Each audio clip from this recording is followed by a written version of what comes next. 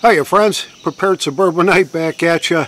You know they say, uh, it's supposed to be true anyway, that three times a charm. And um, I'm here to give some testimony to that as a truism.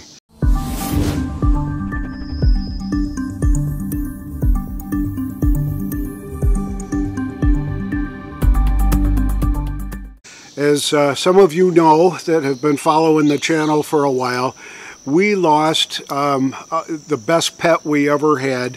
She was a uh, golden mix that we got from a local rescue, uh, Neuse River Golden Retriever Rescue. And we, we got her about, uh, um, well, when she was about seven. And um, she was with us until she was 16. So we got quite a few good years out of uh, our wonderful little Kelly dog. And um, she had a stroke right at the end. She was really having a hard time getting around and then just one day it was pretty much all over. She couldn't see, she couldn't navigate, she couldn't walk. It was terrible. We took her to the vet and finally had to make that really tough decision.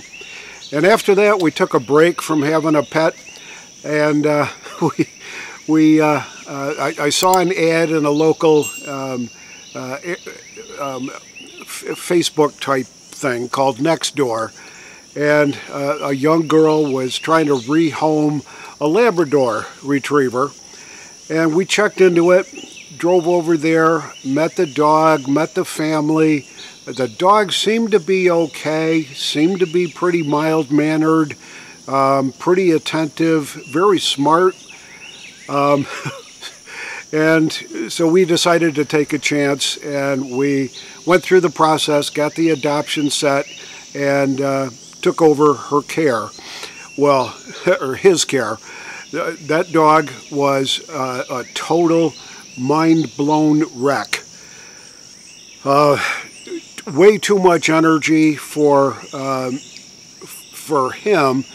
I think he was uh, about almost a year old, uh, something like that. So he was pretty close to being full grown. Um, strong as a, an ox, huge.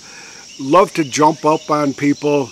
Loved to have uh, um, his belly rubbed but was very, very muscular, very, very knock you down, bump into you, all that kind of stuff. And uh, so it was just like a little bit too much for us. So we worked with a different um, group in, in this area to get that lab uh, rehomed. And we just heard from uh, the new owner um, that he's doing very good. Uh, she's very active out doing uh, hiking and biking and all that. Got the dog with her all the time. So the dog found a good place to be. The second dog we got uh, was uh, through the Neuse River group and her name was Ivy. And she was, I think, sort of a golden something mix, maybe a hound, or a pit bull maybe. Um, but she was a scaredy dog all the time.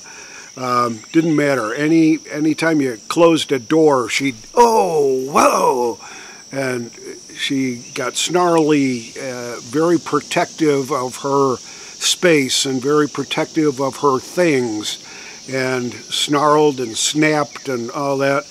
Um, couldn't have her around with a group of people like we like to do, get together around here on uh, uh, certain holidays and have a cookout here in the backyard.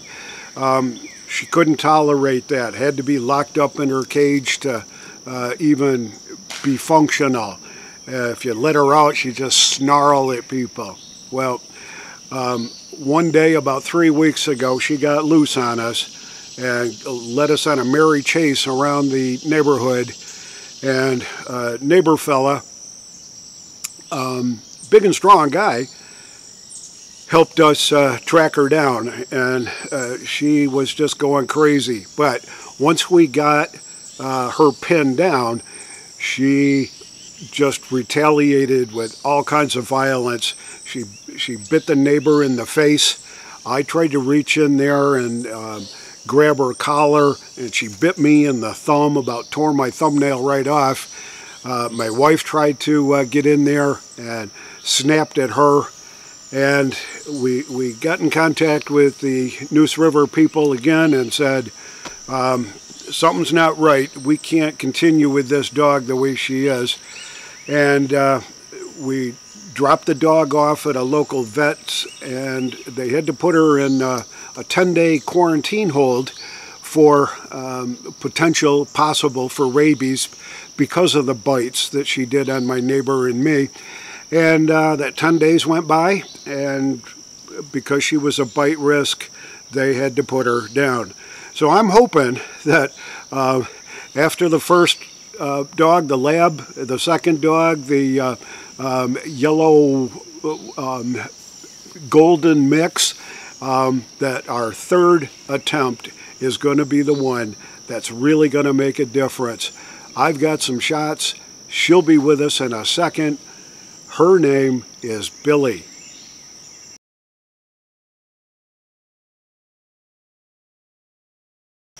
So Billy has led quite an interesting life. She uh, uh, was born into a family and the um, uh, the male in the family, elderly guy, probably my age, um, passed away and um, neighbors were kind of taking care of the dogs. Uh, there was two, I think, that were left behind after the uh, the person died, and the neighbors were, you know, taking care of them, trying to feed them, and all that kind of stuff. The uh, uh, the widow apparently couldn't take care of them at all, really. So um, the uh, one of the dogs got adopted out, and the family got in touch with Neuse River Golden Retriever Rescue and said, "We're going to have to give this dog up." Sent her in and they, they did the initial medical exam, uh, all that, found out she had ringworm, uh, heartworm and all that for just being um, unsupervised and basically uncared for for a few months before they uh, turned her over and it really didn't turn out all that good. Um, there were some uh, potential injuries that were there. Her right rear leg. She limps on that a little bit, and it hasn't really been fully um, diagnosed or x-rayed or anything.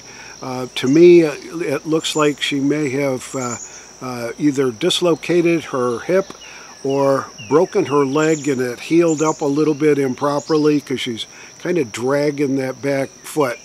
Doesn't seem to slow her down. She can navigate stairs and uh, she runs okay, so uh, just a little bit of a limp when she's uh, when she's walking. And the other thing is uh, somehow an injury on her tongue kind of cut the side of it, and it's uh, um, must have been pretty painful.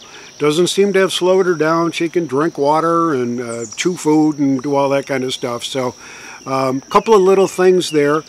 Um, she's going to the vet uh, tomorrow to get clearance on the uh, final testing for the heartworm. And she had a mild case of it, so it really wasn't too awful bad. um, but they got to do that first before they can actually clear the dog for adoption. We've already started the uh, paperwork process to, to adopt Billy. Uh, the the local rescue, uh, Neuse River Golden Retriever Rescue, has has a a tendency to name their uh, incoming dogs with very creative names. So her name, when she came in, uh, was Billy Holland Dog, and there were other other names that they uh, try to mimic, um, like Ziggy Azalea was one of the dogs, so they didn't use Ziggy, they used Jiggy, I think, um, just to differentiate. But it makes it somewhat easy to remember uh, the dog's names and stuff like that. So she came in as Billy Holidog. Uh, her current foster, who's part of the uh, Neuse River family, uh, has been calling her Sassy. Well, um, Sassy's an okay name, except one of our uh, close family friends, her nickname is Sassy. So we didn't want to get confused and call Sassy for dinner and, and have Elaine show up for a bowl of dog food. Anyway, that's um, just kind of it. We're going to call her Billy. And there's a, a couple of reasons for that, which may get into later, but Billy's going to be uh, the name that she's going to be going by um, once we can adopt, and we should have it all finalized this weekend. Um, so we'll be like the official um, good guys and rescue people that have saved another dog from a lifetime of misery. Um, if you've ever done any kind of uh, pet rescue work, I congratulate you. It's a very um, difficult road to walk.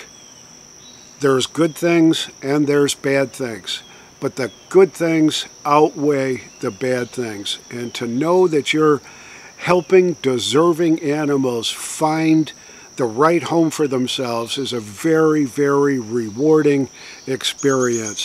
So I would urge you to support your local rescue group.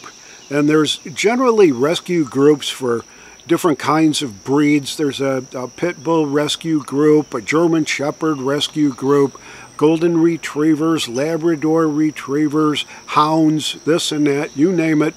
There's a rescue group that's kind of dedicated to that breed, knows the breed very well. Uh, most of them do a terrific, terrific job. And we've been delighted, even though we've had a couple of disappointments, we've been delighted with the outcomes and the love and the care that these rescue dogs bring to us. So I urge you to deal with that. Um, if you can, support your local rescue group. This is the Prepared Suburbanite reminding you to be prepared always, and I'll see you all on the next video.